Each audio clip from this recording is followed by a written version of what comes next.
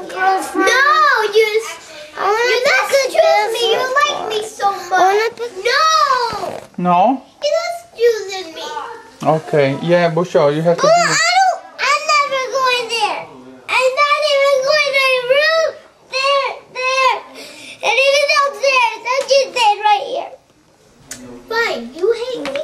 You slap me. No. I don't don't want Ashley to be my girlfriend. What about you choose a different girlfriend? What about you hated me and said stupid to me? I'm not. What about that you happened to me? What about you like the girlfriend you like to choose? What about you said stupid once? What about you said I'm a bitch? E, excuse... Co on powiedział? Co on powiedział? Co ty powiedziałeś, Busio? No ty.